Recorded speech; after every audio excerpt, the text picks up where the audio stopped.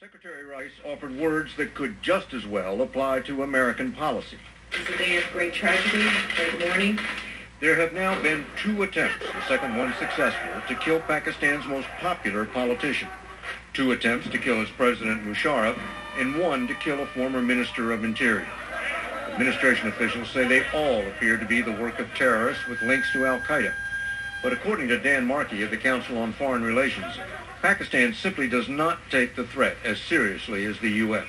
I think many Pakistanis still don't believe that these groups threaten them. They think these groups simply threaten the United States, and the only reason that they're in trouble now is because of us. An advisor to Bhutto says she was campaigning to change the mindset that al-Qaeda is somebody else's problem.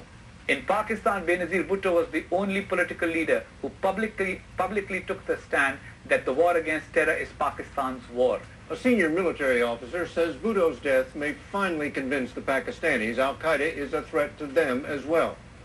But that is just a hope. The reality is that the Pakistani military and intelligence service is filled with officers who sympathize with the militants. And the Pakistani army has spent its entire existence preparing for war against India and is neither equipped nor trained for a counterinsurgency campaign against al-Qaeda.